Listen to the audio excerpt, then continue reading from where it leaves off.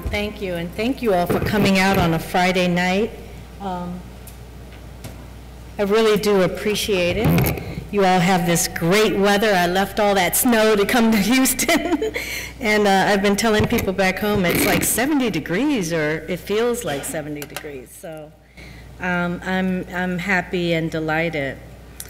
Um, I also want to obviously thank uh, the sponsors of, of this series, and in particular, um, Professor Romero, who, uh, as he said, we've been talking for the last several years, and it was a pleasure to finally meet him. Also to uh, Wes, I don't know if he's here this evening, but um, Professor uh, Dr. Wesley Jackson for all his administrative support, um, and to Monica Paredes.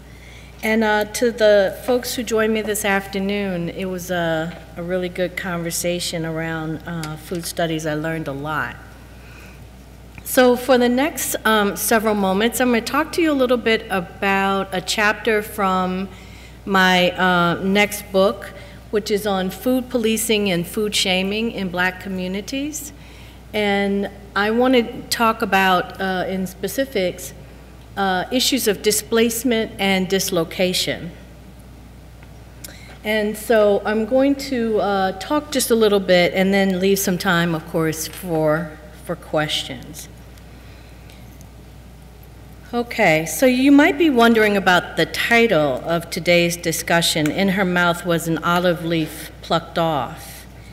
I came to this topic in uh, 2012 while thinking a lot about this book that I'm working on, but also about the changing dynamics that are going on in the world right now with regard to food.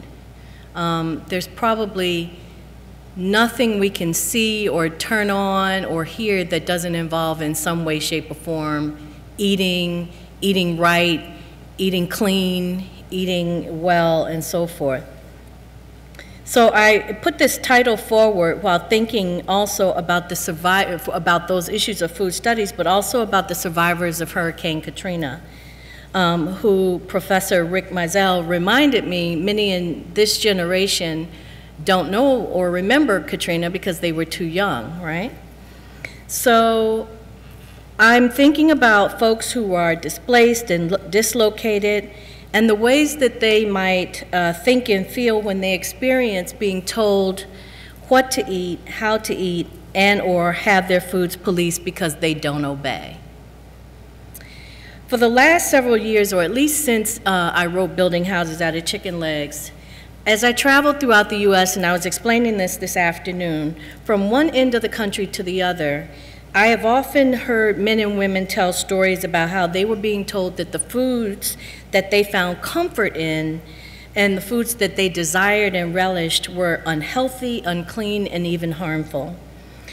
More and more, I began to question what's going on in this cultural moment when populations of people are feeling that their life ways are being uh, are deemed wrong and inappropriate. And I began to wonder and theorize about how this affects one's psyche, if you will, especially when you're starting over after trauma. As today's version of the food movement gathers steam, as it shapes and influences the minds of many, I'm noticing that there is a lot of moralizing going on. There's a lot of righteous soapboxing taking place. There's a farmer's market or a bumper sticker or a recyclable bag advocating buy local and other mantras. Everyone, from pundits to journalists, food scholars to enthusiasts, Foodies, everyone seems to have some expertise on what is deemed fresh, healthy, and wholesome food. We are, in my, to my way of thinking, in the middle of a food hysteria, quite frankly. Eating is no longer just about enjoying your food, but also assigning a label. It has to be organic, sustainable, healthy, clean, local, what have you.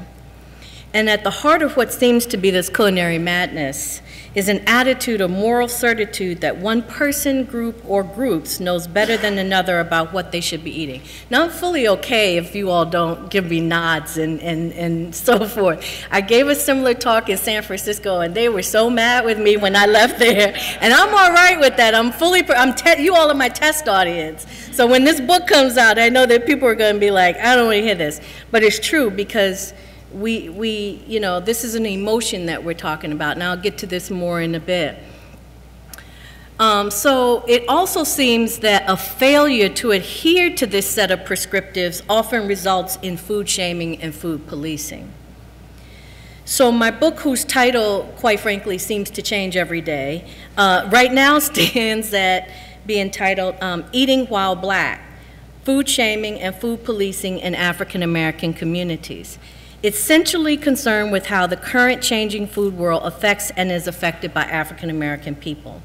While my primary focus is African Americans because that's my life experience, immigration by those who deem themselves black in U.S. context also will have some place in this discussion.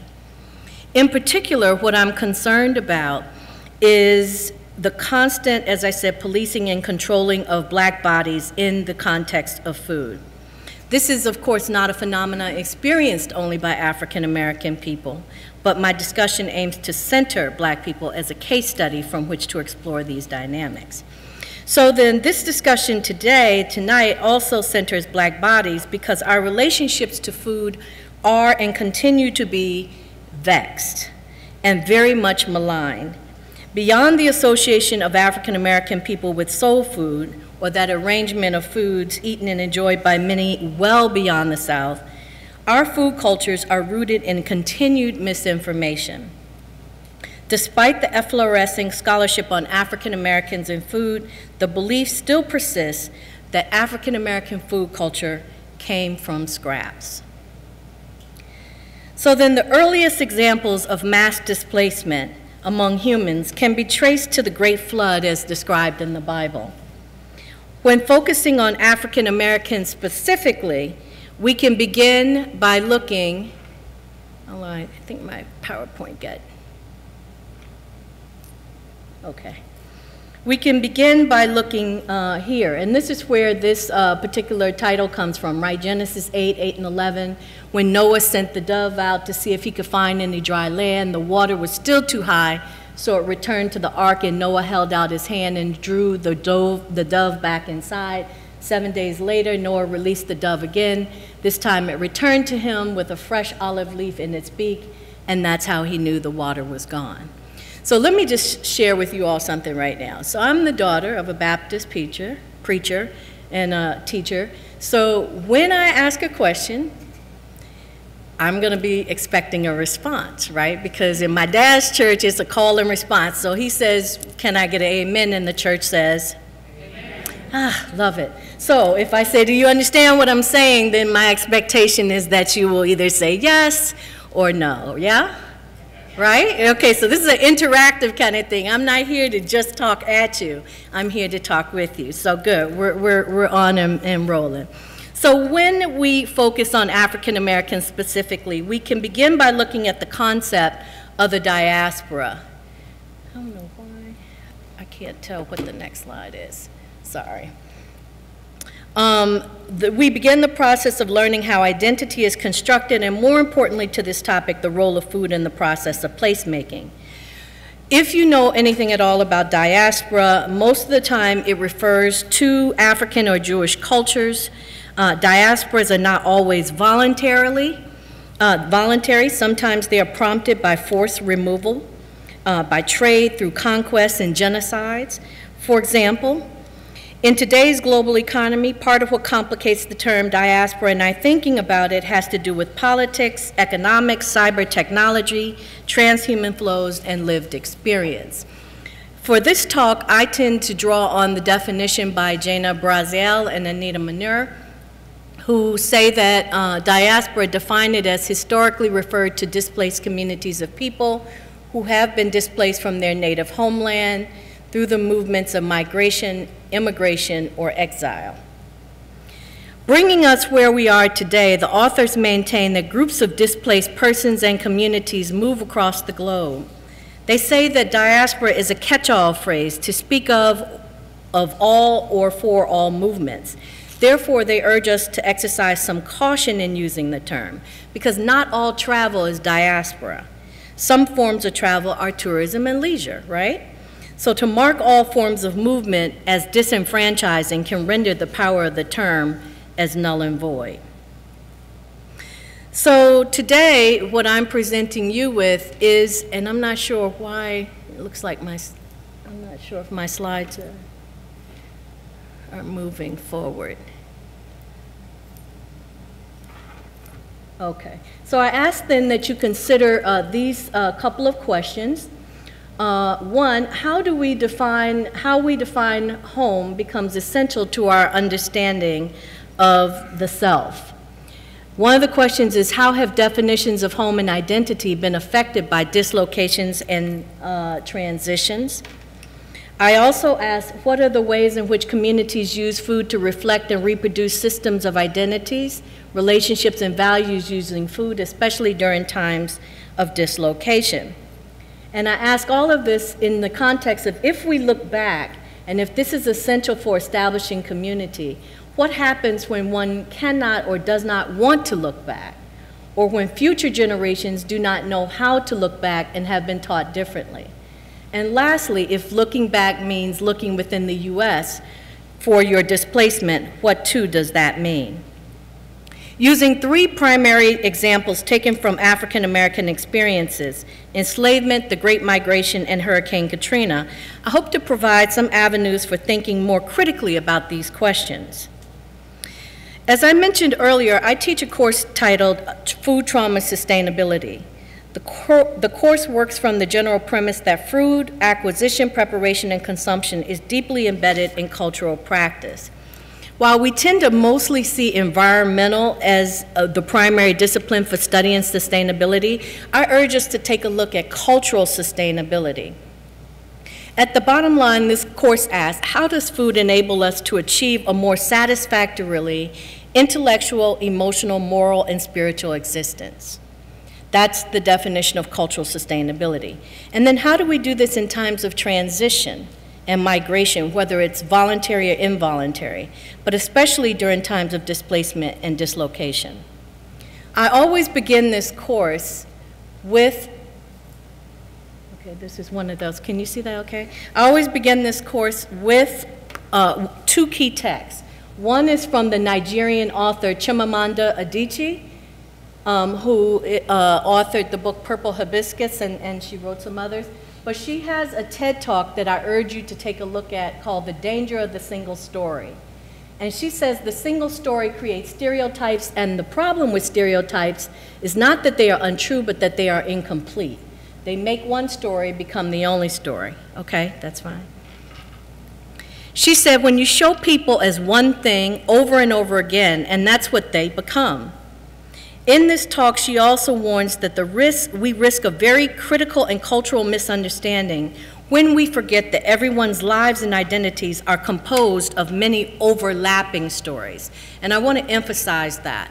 When we only hone in on one story, we totally miss the larger point of people right? So we're all composed and comprised of overlapping stories. Again, when we focus on the single story, it creates a stereotype. So I start this with my, my students. I, I start with that. And then I share with them another, um, another quote. And this is taken from Kai Erikson, and he's talking, speaking about trauma. And he says that trauma can be an issue from sustained exposure to battle as well as from a moment of numbing shock from a continuing pattern of abuse as well as from a single searing assault, from a period of severe at, uh, attenuation and erosion as well as from a sudden flash of fear. The effects are the same, and that, after all, should be our focus. So these are the two places that I start when I'm talking with my students about food trauma and sustainability. So then I move on from there to start for me with slavery and emancipation. And of course, uh, I have here an image of the transatlantic slave trade so that you can see the myriad ways in which people, millions of people's lives uh, were affected. Because most African people entered the New World through the horrific mouth of slavery, it's a natural starting point, actually, for considering African American relationships to food and the development of group consciousness. The institution of slavery and its human consequence is central to understanding every other historical event in African American history, including emancipation, Reconstruction, the Civil Rights Movement, And all of this is embedded within our food cultures. Can you all see this okay? Okay, great.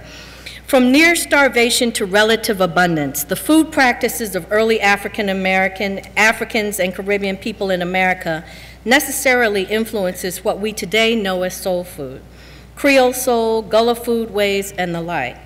The foodways of these early generations have obviously morphed and changed as a result of location, relocation, admixing, and acclimation. But it is because of the factors uh, that African American food habits cannot be, because of these factors, we cannot consider African American food habits in a singular form. The literature on African American foodways during enslavement is vast, and I won't review it here, except to emphasize that what emerges are two important variables that I think we cannot overlook adaptation and creativity. During the Middle Passage, when African Americans uh, when Africans were taken from their homelands, exchanged for goods, and so sold into slavery, many captured people experienced starvation, vitamin deficiencies, and even death. Given the trauma of their experiences, many arrived at their destinations malnourished if they survived at all. They would thus have to adjust to their new surroundings, including the foods available to them. But what we should know is that Africans came to this new world with many new foods. No, they didn't pick them up as they were being captured and store them anywhere because these are some of the myths. No, they didn't stop and grab seeds or anything. But when you think about it, the slave, uh, uh, slavers uh, needed to be able to feed their captives, right? And so what do you feed these captives but the foods that they are familiar with? African yam, for example. I don't know if you, can you just dim the lights for just a minute? I'm not sure if you can see. The African yam, which is very different, of course, from our sweet potatoes, um, right? It's a tuber. They also fed plantain, um, if that was available, malagueta peppers.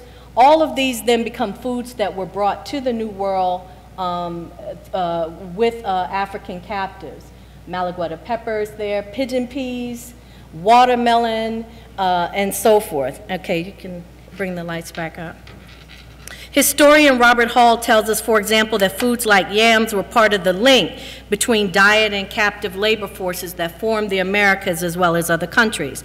And things like peppers, uh, sesame seeds, and so forth were used in order to uh, uh, spice up or season some of the foods that had gone bad uh, during the journey. So all of these foods then came to the U.S. And in fact, many Europeans, once those foods arrived and once the captives arrived, many Europeans would have starved were it not for some of these new foods because Europeans weren't necessarily familiar with and adapted to the climate um, of the Americas. And so therefore, many of these foods were able to survive uh, in the New World. And so between Native peoples and African, Ameri African peoples, uh, all of this then helped uh, all three of these cultures actually to survive.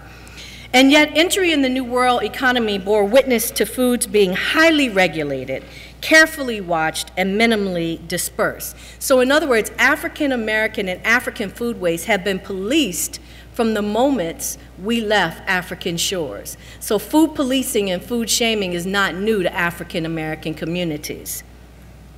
Early colonists, as I said, would have starved in many instances were it not for the interventions of Africans and Native Americans. But this kind of regulation meant new ways of acquiring enough food to survive. The lack of familiar surroundings, the ingredients, and the utensils with which to cook and eat also meant that African traditions had to merge with those natives to the, uh, with those who were native or indigenous to the New World, and also the colonial settlers who were occupying the lands. In short, the experiences of slavery fractured the culinary experiences of African diasporic people, all of whom hailed from different ethnic communities in their native countries.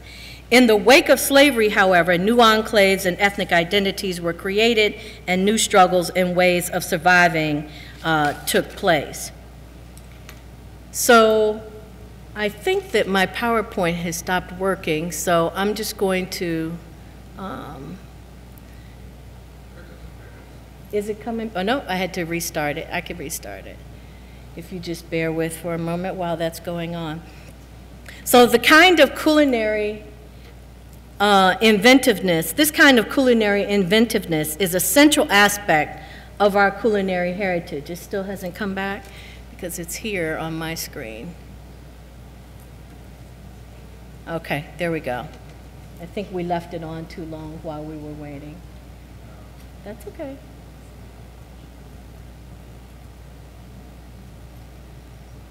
All right, so we might want to just a little bit dim the lights. So this kind of culinary inventiveness is a central aspect of our culinary heritage, from the African imprint left on the foodways of the New World to the creative means of acquiring, producing, and distributing food. African American foodways has never been as simple as cooking and consuming pork scraps. Rather, for African American women and men, foodways were a major vehicle for the expression of culture and identity, due in no small part to the ways in which foods were stretched, augmented, made tasty and sustaining while, filling, uh, while being filled with ritual and tradition.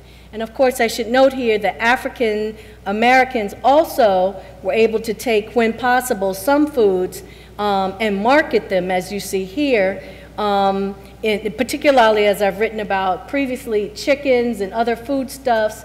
Um, and were able to sometimes uh, use these processes to buy their freedom. Uh, here's a woman who was sketched at a Richmond train station selling chicken and rolls. Uh, here's a huckster, uh, one of my favorite uh, images. Uh, she's adorned with a basket of vegetables and one on each arm. There are whole traditions that go along with huckstering and hawking. All of this is part of the African American food tradition, much of which we don't hear anything about. These are the Gordonsville, Virginia waiter carriers who built houses and put their children through school and did other ingenious uh, things in their lives and in the lives of generations uh, to come uh, by selling foodstuffs at the trains, uh, meeting the trains with hot coffee and, and pie and things of that nature, and the numerous questions that we could ask about that process um, are, are, are endless. So from uh, the moment, uh, so far from being homogeneous, the shared history that African Americans have is as much as embraced as it is disavowed, and food often factors as a contested symbol at the center of these interracial and cultural debates. From the moment that African people reached these shores well into the period of the Great Migration until the early uh, civil rights movement, African American people had to measure their freedom of movement and their consumption by someone else's authority, even in uh, emancipation. And I have here, of course, Juneteenth, which, uh, being in Texas, you might be familiar with. According to the Texas State History Association entry on Juneteenth, on June 19, 1865, Union General Gordon Granger arrived in Galveston and issued the General Order Number 3, which read in part, the people of Texas are informed that in accordance with the proclamation from the executive of the United States, all slaves are free. And of course, we know these great tidings brought words of freedom. It reached the approximately 250,000 slaves in Texas gradually some immediately, others as long as a year, and still others as long as six to eight years. Not surprisingly, as individual uh, plantation owners were reluctant to suddenly release the power and control over their labor force, so they simply didn't tell them that they were free. Once news reached critical masses, however, we began to see celebrations of Juneteenth. The first celebrations were usually political rallies and affairs, um, teaching African Americans about voting, but within more time, you began to see actual celebrations take place. But I want to give pause in that whole notion of celebration because, of course, when we think of Juneteenth, most of us tend to think of uh, celebrations, dancing and shouting. But I want you to think for just one moment. You've been enslaved all your natural life you are now 80 years old, or you're 30 years old, or you're 50 years old, or you're 10 years old, you don't even know what to think. Even as people celebrated, some even immediately claimed their freedom by plundering and appropriating objects from those who for so long held them in bondage. I would venture to guess that many more cried and wondered about this new life. All of a sudden, you're free. There was, no doubt, in the biblical parlance, much weeping and gnashing of teeth. In remembering her life in bondage, Minerva Bendy, a former slave in Woodville, Texas, recalls that at first she was upset by the notion of freedom. She said she was just turned out with no food, no nothing. And there were no doubt many who were in shock and in awe. Mothers were both happy for their children and fearful for their children. What would they eat now that they were free? How would they acquire food?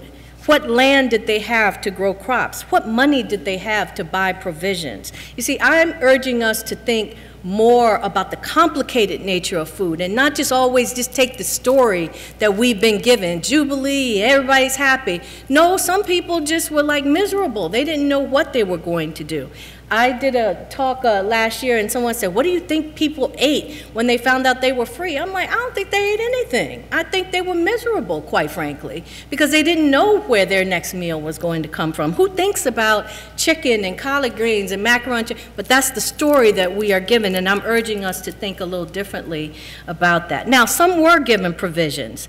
Um, one ex-slave said that um, she and others were given a cow or a mule if they left, and hired for wages if they stayed. But others were threatened with the knowledge that they would starve on their own with no master to spare them. So the fact that black people ate is undoubtedly, they did eat. But because of the relative unimportance assigned to food in academic circles, this aspect of black people's experiences has been left unexplored. But yet food does have meaning in migration.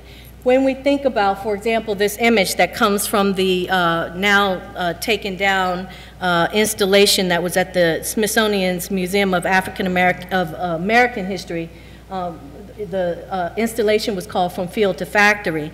When we think about this and we think about it through the lens of food, then all kinds of stories emerged about the ways in which African American people would pack a shoebox lunch well into the 30s or 40s with foods like chicken because they travel well. Even today, when folks go on a bus trip, generally they're going to take a food that will last, right? Not something that will spoil, um, but they will take something like chicken. There's lore, folklore that says you would know uh, the path the African Americans took on a bus or a train because you would follow the trail of chicken bones, and that was called the Chicken Bone Express. So black people did eat. Black people did uh, carry uh, things like uh, chicken on their trip. In this installation, which was part of Field to Factory, there was uh, the little girl that's there on the train had a little note pinned to her um, telling the uh, porter where she was going. And in the original piece, she had a little pail that had her lunch there. Um, and it would most likely have, again, chicken and uh, some kind of sweet or some kind of fruit. So folks would acquire food in that way. There are also stories of post-emancipation where people dug through garbage cans, foraged in woods, or sought work wherever they could, or ultimately turned to the almshouse. Women engaged in domestic work and took full advantage of what is called the pan, that is, the leftovers that were left by their employers. When permitted, uh, they were able to take those foods home. So there are a range of stories of how African American people acquired food. There's also the range of stories about freed women working um, to help their husbands and children helping their fathers to plant, cultivate, and harvest crops. But this was laborious and time uh, in, um, uh, uh, consuming work. And so many of these women sought to get out of the field post-slavery and also post-Reconstruction. They no longer wanted to be working a garden or in the fields. So if that is the historical narrative of truth, of fact, when people say to us today, you should just grow your own food, you can understand for some people why that is relatively problematic because the history of food acquisition and production in at least African American communities is fraught with challenge. It is one of cooking by the side of the road because you could not um, go to a hotel because of black codes and Jim Crow laws. It's also one of the agricultural school of Booker T. Washington trying to teach people various agricultural principles.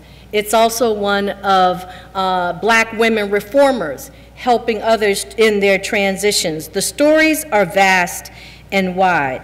It's funny because most of us do not know this history, unfortunately, or this heritage, nor do we think through the implications that it has on generations of people. Rather, we just want people to grow their own food. And I ran into this situation when I was giving a talk out in the Midwest. A woman came up to me and she said, You know, you, you gave a great talk, but you missed one important point. And I said, Oh, what is that? And she said, In my estimation, growing one's own food is just like heaven on earth. And I said, Wow, Great. In your estimation and in your opinion and in your experience. And I sought to gently clarify for her that producing one's own food is not always a welcome task for all groups of people. I went on to share with her what Jeff Romm nicely says. Land was given away free to whites at the same time that Reconstruction failed in the South. Native lands were appropriated and natives exterminated. The Chinese and Japanese precluded from land ownership and the Californios were disenfranchised of their ranches, according to how it's quoted in Julie Guthman's work. So one of the key problems with this way of thinking is that an agrarian imaginary still persists in the U.S. as much as as you have much white land ownership work mostly even today by non-white labor. It is not that people of color don't care about our health or don't care about growing our own food. Rather, many communities have completely different historical and cultural ideologies. About gardens, Kyle Wilkison's study of Hunt County indicates that at the end of the 19th century, for example, as families became enmeshed in tenancy and sharecropping, they had to concentrate on cash crops, cotton, so gardening fell by the wayside. Some women were able to grow vegetables, but many more were concentrating on their lifeways. So then we fast forward to a contemporary example, Hurricane Katrina. Though African Americans have migrated forcibly and voluntarily throughout history, the first great migration of African Americans is said to have taken place roughly from 1910 to 1930. And during this time, approximately 6 million African Americans left the South and moved northward and westward, and some actually moved farther south to Waco, for example, here in Texas.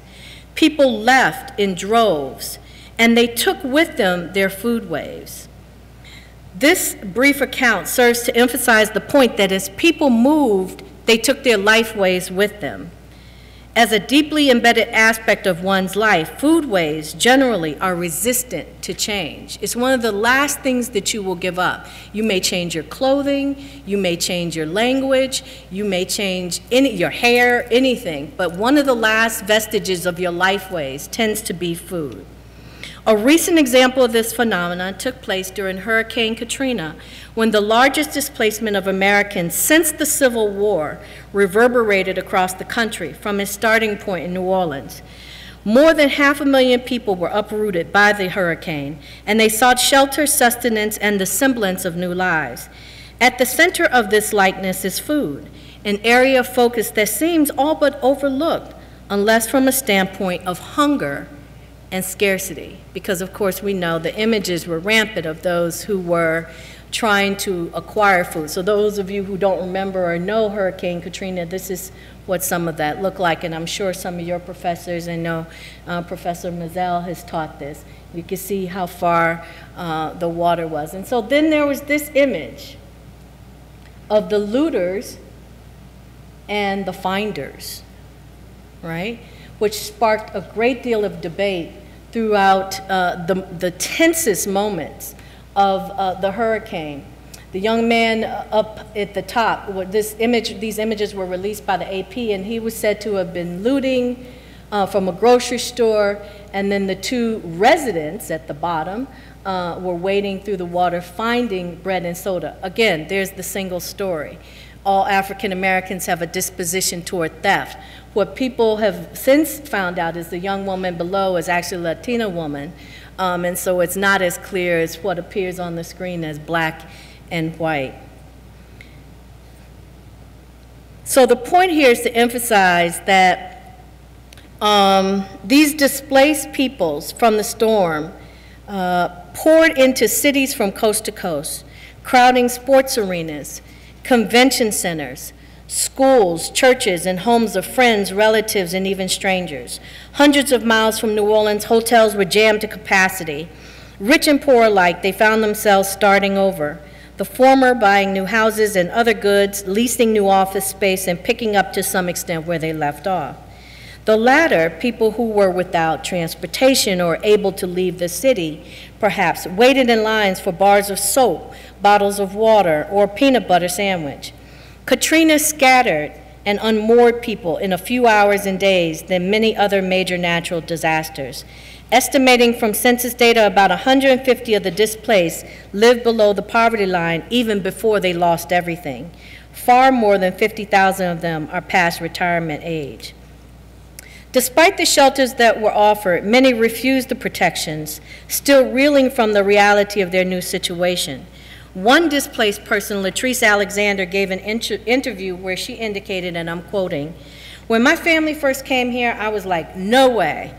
I'm not staying at a shelter. I'm not going in. I sat in the parking lot for like an hour and refused to come in. And now this place is basically home. End quote. The stories involving how people negotiated shelter go hand in hand with how they located food. Amidst the conversations of destroyed fishing boats and food stamp acquisitions is a conversation about missing familiar foods and tastes that remind one of home. One evacuee, Tasha Thomas Naquin, is quoted in the New York Times Tribune as saying, and I'm quoting, early after Hurricane Katrina, getting that taste of New Orleans required a little ingenuity and driving. When I was in Charlotte, North Carolina, Patton sausage was one of the things I missed most, and the DD smoked sausage, especially when I wanted to make gumbo, she says. I would take the 10 hour ride all the way back home with my cooler in the back of my van and stock up on all my New Orleans foods I couldn't get in North Carolina. Blue crabs, DD smoked sausage, Patton's hot sausage, alligator sausage, and Louisiana seafood. If it wasn't for a little taste of home during those times, I think I would have lost my mind.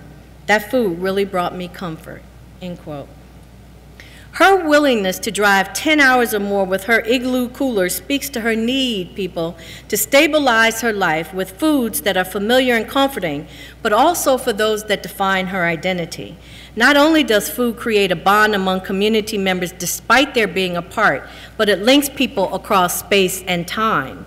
More than simply personal choice or objects of emotion, foods that provide a sense of security are deeply embedded within larger social and cultural systems. Now, I know y'all may not have had a chance to eat, so these next photographs, I'm sorry in advance because I got hungry looking at them, but um, many of these will uh, maybe be familiar. They're from a uh, Washington Post um, article uh, that I came across. Houston witnessed its own influx of displaced people. As one of the largest port cities, it has long welcomed those seeking new ways of life. After the Vietnam War and even earlier, and then throughout time, and then again in the context of Katrina. In a Washington Post article contributed to by your own Professor Romero, we are told, and I'm quoting him, if LA and New Orleans had a baby, it might be Houston end quote. Speaking to the influx and admixing of cultures, the essay goes on to speak to the conflation and creativity of food cultures between whites, Hispanics, African Americans, and Asians. And again, I'm getting that from the article. Asian Cajun and Asian soul, as the food is referred to in the article, bespeaks the creative cooking and innovative restaurants that have sprung up of late. But I'm more interested in a point that was made by one of the chefs, the creator of Asian Cajun, which you see here. In the video accompanying the November 10, 2015 article, John Nguyen, owner of Cajun Kitchen, says, and I'm quoting him, after Katrina, 2004 and 2005, we just really took off. We got a lot of Vietnamese people who came here and just a lot of people from Louisiana coming to Houston and they were looking for a lot of things to eat and that just really that just really reminded them of home.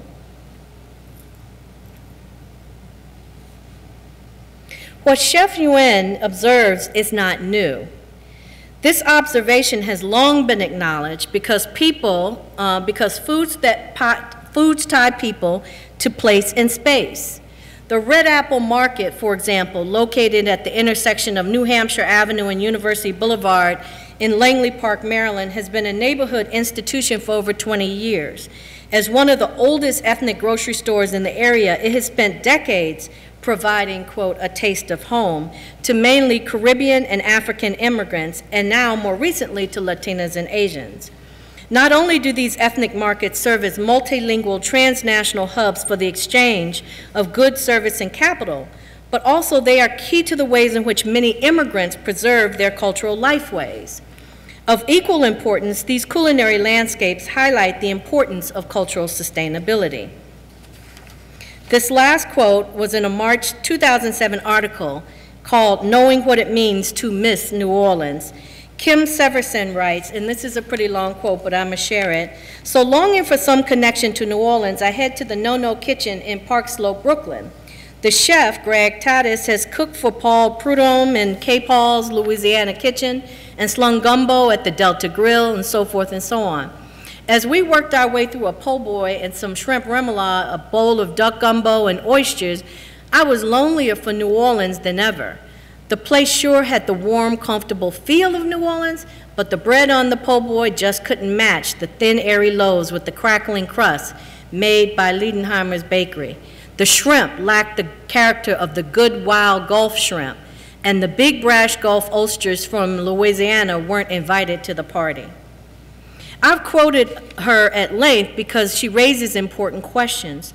Why are some foods more translatable than others? And even more, how does translatability affect one's ability to feel at home? Because taste is often tied to place and belonging, homesickness and preference too come into play.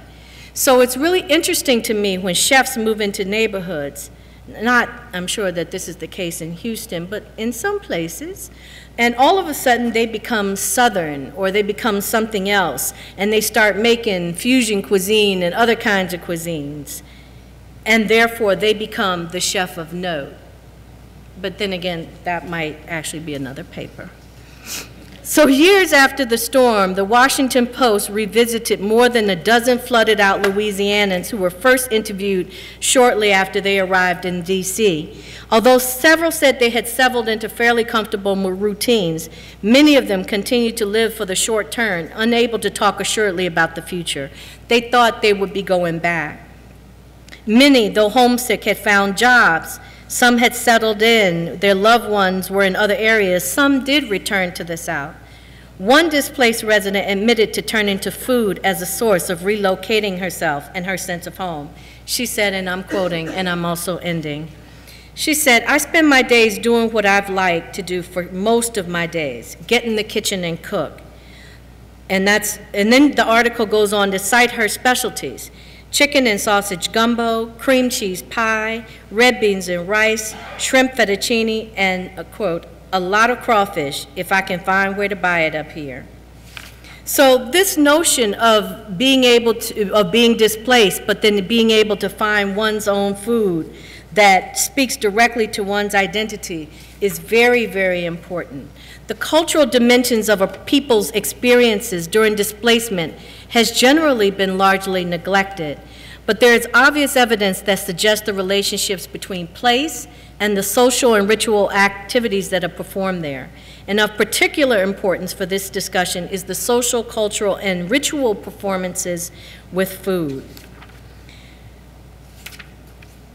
What I'm advocating for, then, to return to how I started, is food freedom. I think we need a redefinition of the food stories that define our cultures. We can begin to see the importance of not demonizing and degrading the foods that help to create and sustain our communities and other people's communities, rather than labeling them the byproduct of this consumption, or rather than labeling this consumption as an epidemic. A more fruitful and lasting paradigm, it seems, may be to help communities incorporate more helpful preparation techniques and ingredients. What I'm also advocating for is the freedom to choose what tastes good and what is good for us, and what is good for our personal economics. In a more vehement argument, Jayson Lusk writes, and I'm quoting, the debate is nasty because freedom is at stake. On one side are farmers who want to work and consumers who want to eat as they please. On the other side are the self-proclaimed saviors of the food system who want to make decisions for us. The food elite have appointed themselves our caretakers. They seek the power to steer food production and choice, claiming to know better than farmers and consumers. It's time we regain control of our forks and farms and rightly consume, assume responsibility for our own health, environment, and pocketbooks. I'm advocating for doing away with the moral certitude that your or anyone else's definition of eating healthy is somehow better than mine. Yet when given the chance or the fancy, one will travel into the hinterlands to go exotic and eat macaroni and cheese, fried chicken, and collard greens. This is not to say that all foods are cooked healthily. Of course not. Often we wouldn't eat them if they were. Rather, my point is that many of us have brought wholesale lock, stock, and barrel into the misleading single story picture of food and agriculture that we are constantly fed by those who seek to regulate what we eat. Lusk would argue, and I'm quoting, the food police rely on a distorted view of reality to gain support for a sweeping agenda that, if successful, will actually cause more harm than good. So maybe we need to reframe the question and not ask why people won't participate in healthy eating, but question our desire to enroll people in a particular set of food practices. As philosopher Lisa, Lisa Heldke maintains, and I'm quoting, paper or plastic thinking begins by constructing our ethical choices as a dichotomy. Do this or do that. Would-be ethical food consumers approach every alternative food campaign as a kind of moral, social, ecological litmus test. To be a good person, you must eat vegetarian, eat vegan, eat organic, eat local, eat biodynamic, eat fair trade, eat authentic, eat. She says, I applaud these individual efforts to challenge the industrial agri-food system. I do not applaud their tendency to reduce moral life to a set of rigid choices that, if correct, can somehow make me good. Shaming is a painful emotion caused by consciousness of guilt, shortcoming, or impropriety. No one likes to be wrong or to feel like they have a shortcoming, and no one likes to feel like their knowledge of anything is subordinate to anyone else. But the fact of the matter is, we must stop people, stop allowing others to make us, African Americans, but other cultures as well, feel ashamed of our cultural food. Rightly or wrongly, we adopted these food habits and we have enjoyed them for centuries.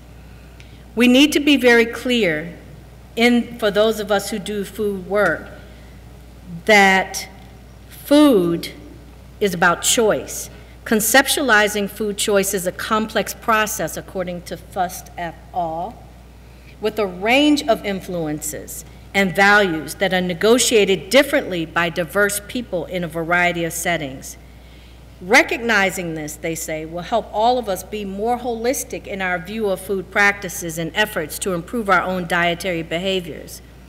If, in fact, our goal is really to improve the life ways of people and assist in ensuring access, it seems we also need to consider heavily people's life courses and the decisions, options, values, and desires that are best for them it seems we should stop trying to force people to live under the burden of a perceived disobedience that constantly casts them into a space of shame.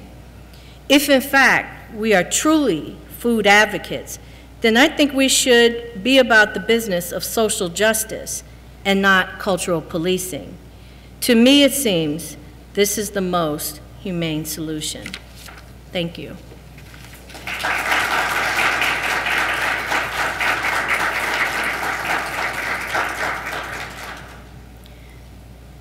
Okay, so should I entertain questions? Sure.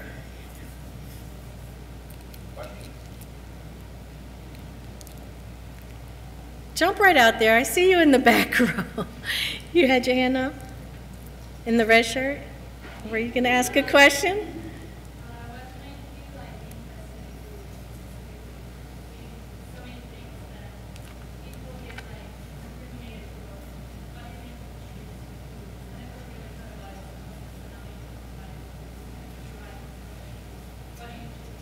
Oh, why did I choose food? Um, okay, well, because I actually um, am interested in people and how we relate to objects in general, clothing, um, uh, the things that we have in our homes, the material world. Food happened to be uh, one of the areas that I was studying early in graduate school. And um, I, I, didn't have any idea that I would continue to be talking about this, but as time has gone on, and again, I've seen these shifts, and I'm seeing, uh, as I mentioned, um, some very interesting things happening in our current discourses around food that I think need to be brought to the to the floor and to the table. So um, I didn't necessarily choose this. I think it more or less chose me. Um, but I'm going to run with it and, and, and, you know, try to, again, uh, do the work of, of activism. I come from an activist background, and so this is my, the work that I true, uh, try to do in communities. Um, this is my way of, of working in food liberation and activism. Yes, sir?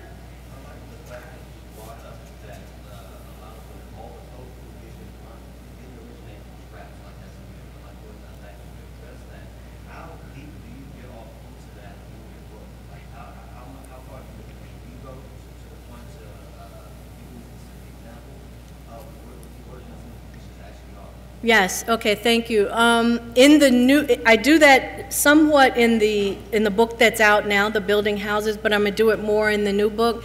Um, because, you know, I know that we as, as a culture of people like the phrase um, making a way out of no way, and we did. We absolutely did. But what I try to um, point out is that slavery was a very complex system. And for example, you had a lot of Muslims who came uh, through the slave trade and who, did, who continued to try and practice Islam. And they did not eat pork. Um, African American people um, foraged, they were in the woods, they learned, they knew berries, they knew medicinals, they knew herbs, um, and they, uh, there's a range of things that people ate. You, snake, squirrel, rat, beaver, I mean, literally. Now, that doesn't mean people are eating high on the hog because who wants to eat, you know, those foods? But the point of the matter is that um, we took what was allotted, the ration that was allotted, and you did what you had to do to make it stretch. Sometimes you were in the field from sunup to sundown, depending upon the type of slave plantation you were on right? Were you working on a task system or were you working in a different type of system where you didn't, you weren't able to go back home all day? That's why bringing to the new world the method of cooking in a one pot where you put everything in one pot and it's stewed all day long. That's how come our collard greens sometimes are cooked all the way down because, you know, you stewed it all day long. Red beans and rice right? You know, that was a Monday thing. While women were out washing, they were cooking, had their red beans on right? So we have to be familiar with our, our, our culture. So I try to be very clear in this new work um, about the, the myriad ways that African American people um, survived. I read a, an article not recently um, that I hadn't even thought about this, but when people escaped, often they got caught because they were hungry. Right? Be because if you didn't plan to escape and make your provisions, and you had nothing to trap or, or, or, or, or catch food, um, yeah, then that, that would be your peril. So these are some of the things, I mean, there's so much to know, and, and I think that, again, that's why I start with the single story, because I want to inform people that this is not going to be that, right? Mm-hmm. Yes. Mm-hmm. Mm-hmm. Do you think that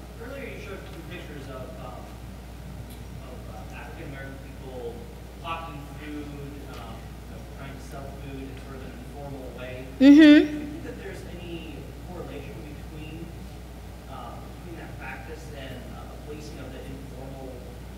sector? Yes, I do. Um, another project that I'm working on is uh, underground economies. Uh, or off the books and, and working uh, or in the illegal uh, economies. Absolutely. Um, in an article that I have written, as I was sharing uh, with the group earlier, called Other Women Cook for My Husband, um, uh, there was a woman who my ex-husband and I used to go visit and he called her the Waakye lady. He was from Ghana, West Africa. And uh, he would uh, get out of the car, go in, and come back with a styrofoam container. And it had basically uh, rice and sauce, fish, um, plantain, and so forth. This is a woman who was cooking out of her home, right? And um, every Friday, for the most part, that's what we ate. Yeah, absolutely. She probably um, could not uh, get a work permit uh, or anything. So yeah, a lot of underground economies today uh, exist around food, especially, I, am sure he, everywhere, but certainly I know in the DC, Maryland area, um, there are just restaurants in people's homes. You know, they only, they take reservations and you have to be in the know to know. Um, and so yes, absolutely, these hawkers are, are the historical to the precedent that we have today of working off the books in food industries. Is, does that answer what you were? Yeah. Uh-huh, great. Other questions you had? A, yeah, Jimmy. Uh, uh-huh. questions uh, myself to one. Um, you, you, mentioned that uh, uh, or you implied in the talk that food policing is often taking place in the current diaspora of people out of New Orleans and other parts of the country. I wonder if you could say a bit more about the points of pressure uh, food policing. What are the sort of primary means uh, or um, uh, forms of media in which food, food policing takes place? Right. Uh, how is that sort of a hegemonic culture? Uh, how does it diffuse outwards? How is it uh, experienced by people who are part of the diaspora? What forms of resistance are there to to that um, essentially hegemonic culture and food policing today? Mm-hmm. So I'm going to take the piece of how food policing takes place. When I was, uh, I, I was giving a talk at a small Midwestern uh, college, and I, I, gave a similar talk, but not this one. Um, and the next day, uh, my colleague came to me and said, we had um, several students who came to us and said they had not eaten their cultural foodways. This was a, a an Asian uh, woman. She had not eaten her cultural foodways because it contained chicken, and they were told when they got to the campus that you, you didn't eat chicken. Everyone there ate a macrobiotic diet, brown rice, leafy vegetables, things of this nature. So she was like, for three years, she and her sister had not eaten their cultural foods. And so she said, you know, thank you for giving us permission to feel okay. I'm like, gosh, yeah. Uh, thank you for giving us permission to feel okay about those foods. Another woman, same college, this was completely by coincidence, she said, um, I'm from New Orleans, and we eat a lot of starch. But when I got here, they said, you know, everyone eats salads and brown rice. And so she's like, I don't, I don't let anyone know that I eat, you know, white rice almost every meal. So that's one way, it's, it's communally, right? It's communal. Another way is from the likes of people, quite frankly, uh, like Michael Pollan, who tells us we should all eat like our grandparents ate. Uh, you know, um, quite honestly, many of us can't eat like our grandparents ate or don't want to eat like our grand. But but that's he's he's a noted uh, voice in the food world, and so folks uh, tend to follow him. I we had another speaker come to the University of Maryland uh, who wrote a book um, as a journalist. And the number of people who stood up, and I was very surprised by this, mostly African American women, and gave testimonials to how the book changed their lives. They literally, one woman said, I used to drink strawberry milkshakes all the time, but your book had me so convicted I stopped eating strawberries completely, right? And the more testimonials that happened, you could see him like squirming, and he said, You know, these are some extreme examples. I, I never expected that when I wrote the book. So here these folks are and, and that's good if they, but they have run with this edict, and that was never his intention. Um, and so I think a lot of this is from public discourse. Um, as I said to you all earlier, when we say to people, I see it all the time on Facebook, I'm eating clean. And I always say to myself, well, do I eat dirty? Because I'm not, you know, what does that mean? I mean, am I a bad person because I'm not eating? You know, so I also think, as I shared with you all, we have to be careful about language. You know, and the ways that which we unintentionally indict people. Had a young woman who raised her hand, and I, I again shared this example, and she said, you know, how do we stop, get people to stop eating at McDonald's? Or how do we stop uh, people from eating here or there? And, and again, I will share with the larger audience, I said, why is that a concern of yours to stop this person from doing that thing? There's so many factors in our lives that influence how we engage food. That when we, as a culture, we naturally, we, we all are informed by sound bites. CNN, headline news, Fox News, everything is a sound bite. You know, AOL, Yahoo, what, we just get the little bit, and many of us don't go farther to click on the link, and then many of us don't go farther to read the entire piece, and then we just stop at what we've been told. But that is part of the single story, right? That's why I start with the DJ, because that is part of the narrative that this is, we gather sound bites along the way, and that's what it is. That's how we come to all black people ate scraps. I mean, I had a, a, a good friend of mine tell me, you know, after he, we and I were talking about something, and he said at the end, you just, here, here's another one to tell me, you forgot one thing. And he was like, you know, we, we come from scraps. And I was, yeah, no, you know, that's not the story. That is just not, you know, let's not do that and not say that we did. And so, you know, the corrective is, is hard. It's hard. Um, I'm not suggesting that there are not health implications, but I think that advice needs to come from people's doctors, um, those who have studied in those ways. And even then, sometimes you have to question the doctor. I went to the doctor a while back, and she, you know, took my blood pressure, and she was like, "Oh my God, your blood pressure is so high." I was like, "Really? I've never had high blood pressure." I said, "Wait, maybe should you change the cuff because the cuff is small and my arm is a little bigger than the cuff. When she put it on, oh, okay, now it's not. See, so sometimes because of our experiences, right, we know our bodies um, and we know our health as well, and so we might have to question authorities, and we're taught not to question authority. Yeah. So those would be some of the ways that I'd say I see those hegemonies at work in public discourse, in communities, through the media, even through our medical establishment.